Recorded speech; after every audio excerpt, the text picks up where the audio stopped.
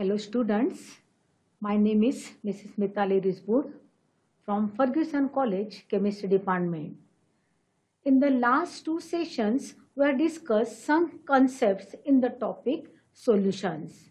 So in this session also, we'll cover some points, some concepts in this topic. So let us move to PowerPoint presentation. Now in the previous session, we have discussed some properties of ideal solutions. Revise in short. Ideal solutions obey Raoult's law over entire range of concentrations. No heat is evolved or absorbed when two components forming an ideal solution are mixed. Thus, the enthalpy of mixing is zero. Delta H mixture is equal to zero. There is no volume change when two components forming an ideal solution are mixed. Thus, the volume of an ideal solution is equal to the sum of volumes of the two components taken for mixing. An ideal solution. In an ideal solution, ideal solution, solvent solute, solute solute and solvent solvent molecular interactions are comparable. I am repeating again in an ideal solutions, solvent solute, solute solute and solvent solvent molecular interactions are comparable. The vapor pressure of ideal solution always lie between vapor pressures of the pure components. This is important property of ideal solution. The vapor pressures of the ideal solution lie between the vapor pressures of the pure components.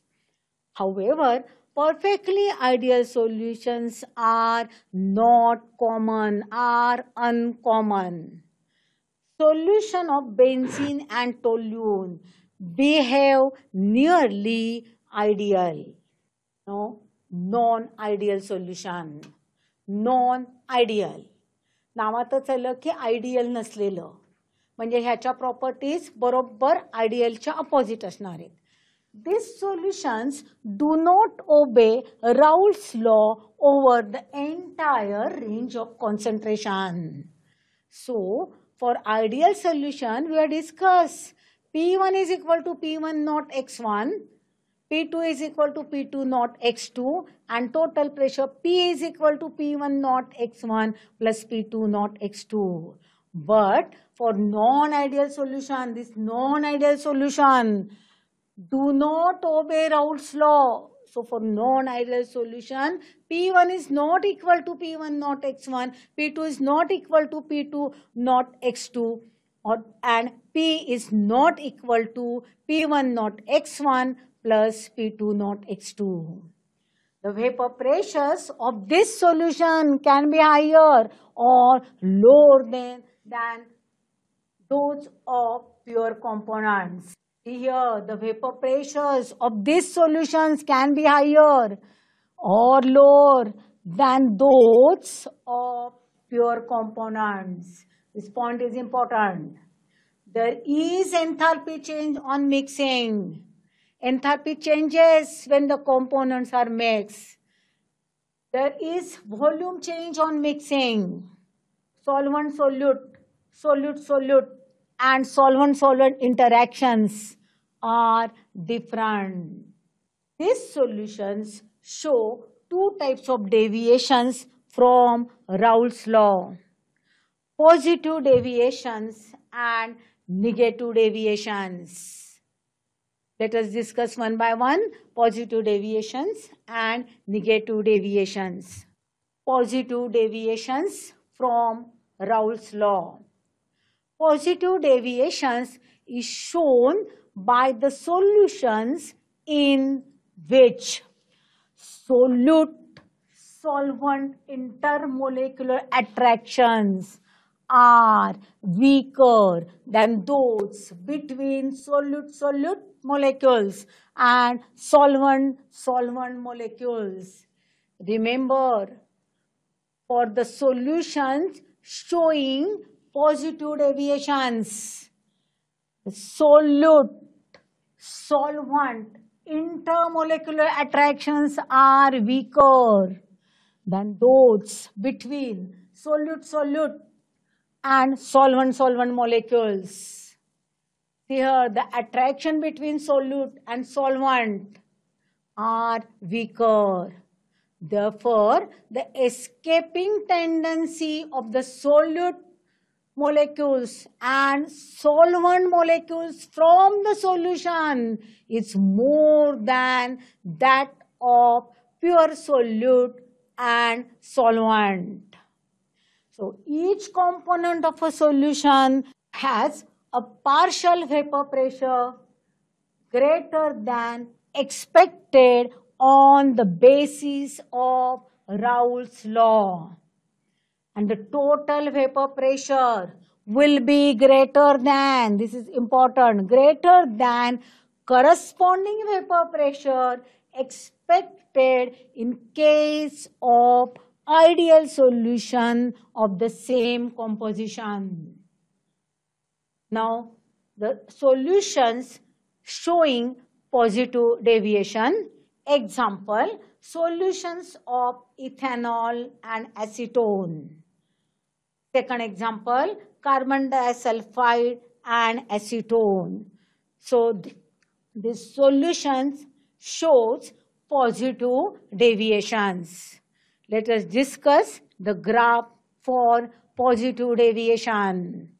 See here, the graph of vapor pressure versus mole fraction. See here, at this point, x1 is equal to 0. So when x1 is equal to 0, x2 is equal to 1 because the sum of x1 plus x2 is equal to 1. मग जेव्हा x1 0 असेल इथे x2 किती पाहिजे 1. And at this point, x1 is equal to 1. So x2 is equal to 0. Now, see the curve. x1 is equal to 0. So when x1 is equal to 0, vapor pressure P1 is equal to, see here, P1 is equal to P1 not x1, isn't it? So P1 is equal to 0. When x1 is equal to 1, P1 is equal to P1 not X1. X1 is 1. So P1 is equal to P1 not. So here at this point pressure is P1 not. Now this dotted line is for the ideal solution. Now for a solution showing the positive deviation See the curve. This curve is for a solution showing a positive deviation. See the curve. Curve lies above the ideal line. What does this indicate? काय सांगतं? See the value. Value of pressure at this point. And at this point, see here, this value is more. That's why the curve lies above the ideal line. When we have discussed the property, we have discussed each component of a solution has a partial vapor pressure greater than expected on the basis of Raoult's law. Isn't it? See this curve. At this point, x2 is equal to 0. So here, vapor pressure is 0. Now, at this point, x2 is equal to 1. P2 is equal to P2 not X2. When X2 is equal to 1, P2 is equal to P2 naught. So this point is P2 naught. So this line is for ideal solution. The curve lies above the, this line, isn't it? Why? Once again, let us see. Each component of a solution has a partial vapor pressure greater than expected on the basis of Raoult's law. and therefore the vapor pressure is more. So the curve lies above the ideal line. So this is our P1 naught and this is our P2 naught. So the total pressure is obtained, vapor pressure of a solution is obtained by joining the points. Now this dotted line is for the ideal solution. But for a solution showing positive deviation, the curve lies above the ideal line. Again, let us see the previous line, see the last point. The total vapor pressure will be greater than corresponding vapor pressure expected in case of ideal solution of the same composition. Have you followed this? Now, the next slide is about the negative deviations from the Raoult's law. Negative deviation is shown by solutions in which interactions between solvent and solute molecules are stronger. This is important. Stronger than solute-solute or solvent-solvent interaction. See here, the interaction between the solvent and solute molecules are stronger. Interaction strong ahe. So, the escaping tendency of the solute and solvent molecule from the solution is less than that of from the pure solute and pure solvent. So, each component of a solution has a partial vapor pressure less than expected on the basis of Raoult's law. The total vapor pressure becomes less, this is important, less than the corresponding vapor pressure expected in case of ideal solution. Now, example of a solutions showing negative deviations solutions of phenol and aniline. Second example is chloroform and acetone. Short questions मध्ये हा प्रश्न विचारू शकतील name the solution showing negative deviation or we can say name the solution showing positive deviation. Now let us discuss the graph. See here Magas circles. I have already explained you when x1 is equal to 0, x here x1 is equal to 1. When x1 is equal to 0, x2 should be 1. Here x1 is 1, त्यामुळे x2 किती येणार? 0 येणार. Now see these curves, dotted line for ideal solution here also and here also. This curve lies below the ideal line hey ideal line त्याच्या खाली हा कव आलाय here also this is the ideal कव the, this curve for a solution showing negative deviation. See negative deviation है value कैसी है This curve lies below the ideal line. The total pressure he ideal line है हा curve कसा आला आहे Below this ideal line. Why? Once again read. Here, each component of a solution has a partial vapor pressure less than expected on the basis of Raoult's law. So the partial vapor pressure is less. That's why the curve lies below the ideal line. The total vapor pressure becomes less than the corresponding vapor pressure expected in case of ideal solution. So this curve also lies below the ideal curve. Next point is colligative properties of non-electrolyte solution. See here, non-electrolyte, solution of non-electrolyte. Now, colligative properties means what? Colligative properties means collective properties. Colligative properties are the physical properties of solutions that depend only on number of solute particles in solution and not on the nature of solute particles. Again, I am repeating, colligative properties are the physical properties of a solution that depends only on the number of solute particles in solution and not on the nature of the solute particles. These particles may be atoms, ions or molecules or aggregates of molecules.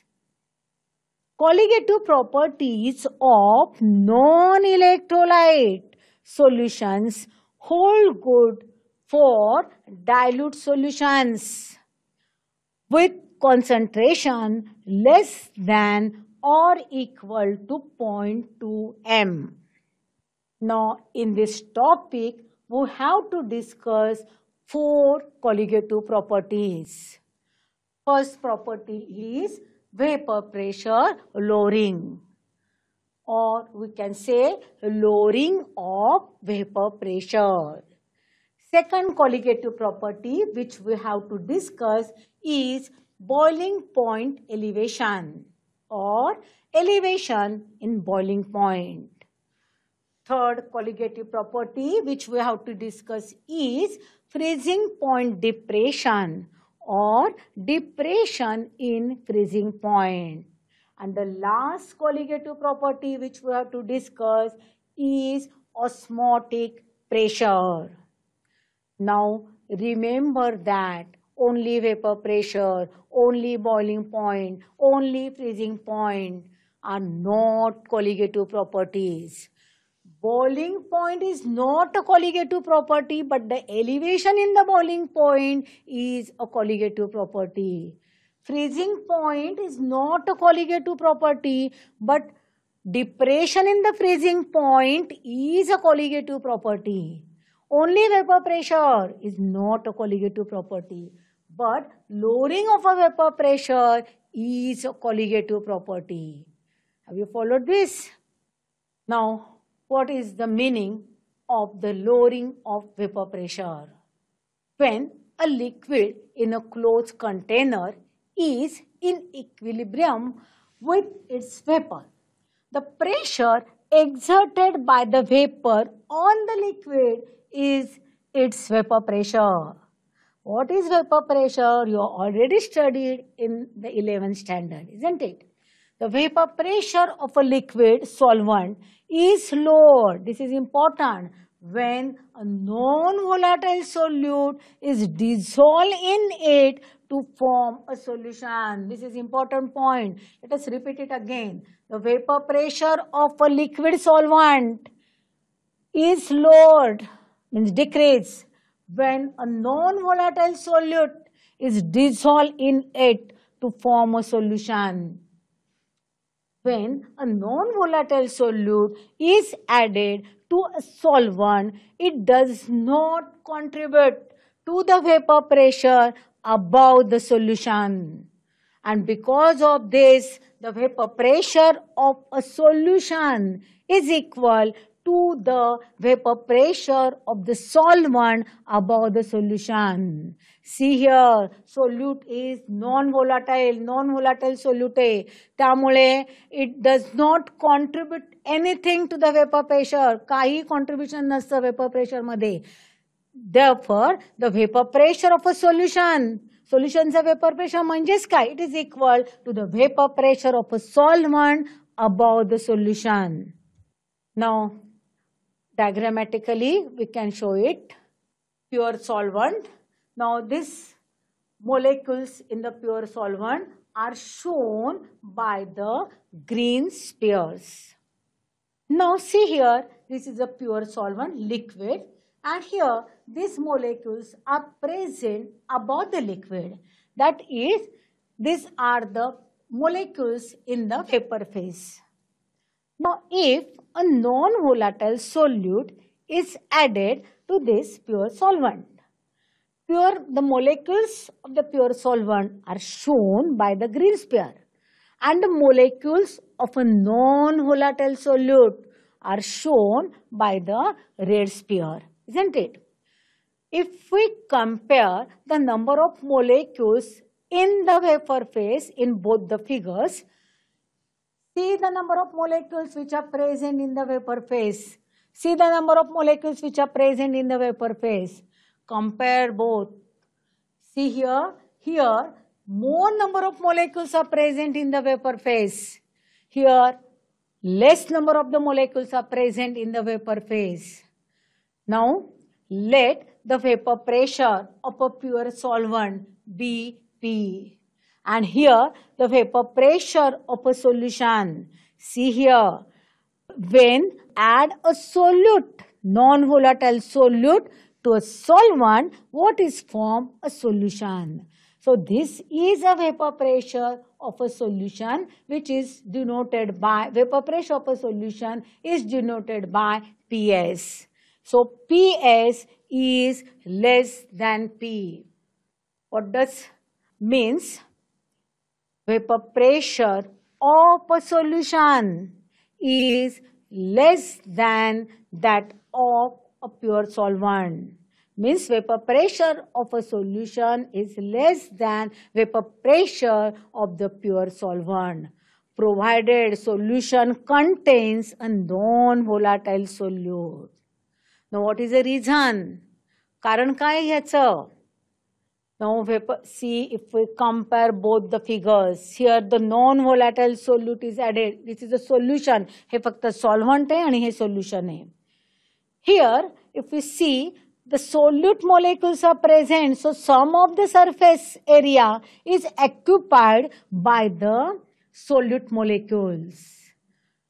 हे इथे solute molecules आलेत ह्या जागी त्यामुळे the less number of molecules from the solvent will escape solvent मधले कमी molecule escape होतील आणि इथे वेपरमध्ये वेपर फेसमध्ये येतील because of this Due to this, the vapor pressure of a solution containing a non-volatile solute is always less than the vapor pressure of a pure solvent.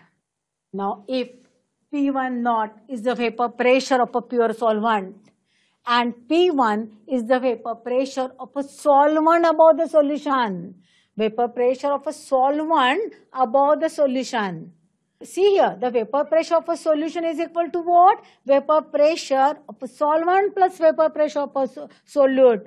But solute is non-volatile, so no contribution for the vapor pressure. So vapor pressure of a solution is equal to vapor pressure of a solvent only. Or we can say that P1 is the vapor pressure of a solvent in the solution or above the solution. So P1 is less than P1 naught because just now we have discussed that P1 means the vapor pressure of a solvent above the solution means vapor pressure of a solution is less than vapor pressure of a pure solvent. So P1 naught is the vapor pressure of pure solvent. So the vapor pressure lowering means what? Difference in the vapor pressures.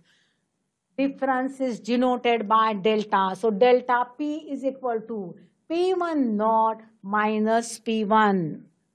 Then the Raoult's law for the solutions of non-volatile solute. In solutions of a non-volatile solutes, the law is applicable only to the volatile solvent. The law states that the vapor pressure of a solvent over the solution is equal to the vapor pressure of the pure solvent multiplied by its mole fraction in the solution. So P1 is equal to P1 naught X1.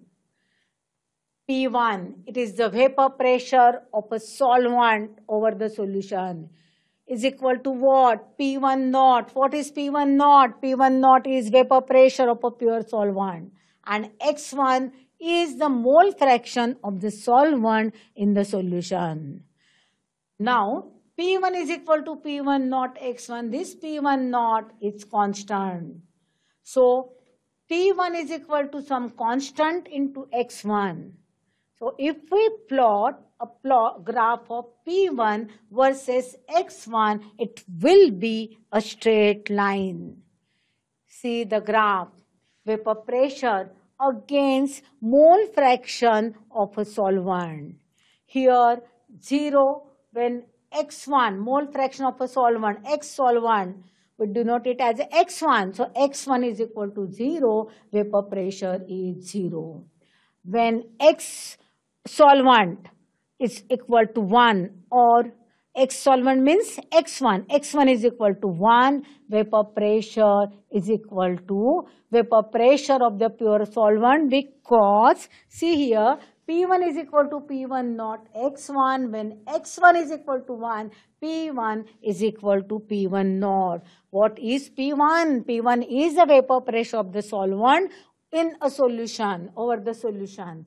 And P1 naught is what? It is the vapor pressure of the pure solvent. So this is the vapor pressure of the pure solvent. So vapor pressure of a solution is equal to vapor pressure of the pure solvent or vapor pressure of a solvent in a solution is equal to vapor pressure of the pure solvent provided X solvent or X1 or mole fraction of a solvent is equal to 1 for binary solutions having one solute. We know that x1 plus x2 is equal to 1. So x1 is equal to 1 minus x2. Our equation is p1 is equal to p1 not x1. So p1 is equal to p1 not. What is x1? x1 is 1 minus x2. So let us substitute this value. So p1 not into 1 minus x2. Let us expand the bracket. So P1 naught into 1 means P1 naught. P1 naught into X2 means P1 naught X2. So P1 is equal to P1 naught minus P1 naught X2.